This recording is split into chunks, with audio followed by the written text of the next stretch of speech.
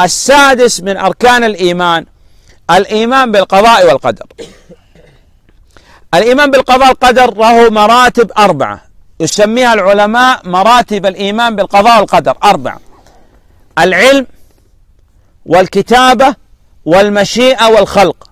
جمعها الناظم في قوله علم كتابة مولانا مشيئته وخلقه وهو إيجاد وتكوين. العلم أن تؤمن أن الله علم كل شيء. لا يخفى عليه شيء. حتى الذي لم يقع يعلم الله سبحانه وتعالى. إذا وقع كيف يقع؟ الثاني أمر الله سبحانه وتعالى القلم بأن يكتب مقادير كل شيء إلى أن تقوم الساعة. كل شيء مكتوب.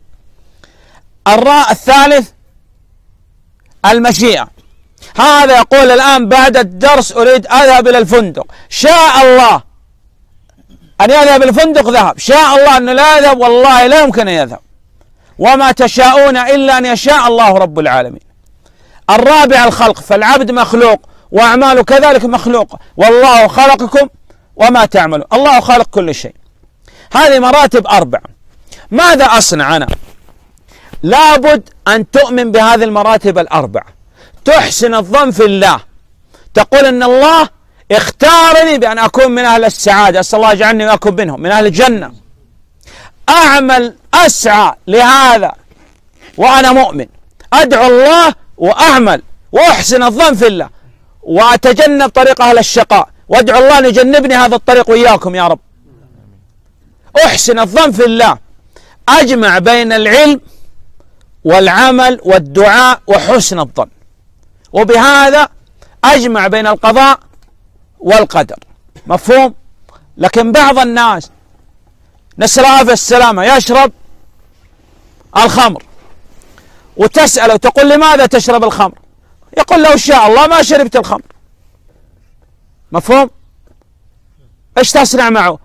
تضربه حتى يغمى عليه. تضربه حتى يغمى عليه. فإذا أفاق من الإغماء وقال ليش تضرب؟ قل قدر الله. قدر الله أضربك اقتنع اتركه لم يقتنع اعطيه الثانية. مفهوم؟ أو خذ ما في جيبه.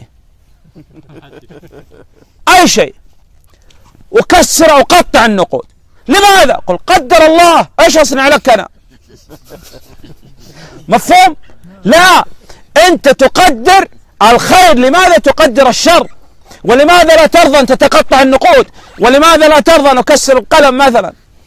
اذا لابد أن تحسن الظن في الله وتعمل عمل أهل السعادة ولا تعمل بعمل أهل الشقاء نسأل العافية السلامه والله أعلم.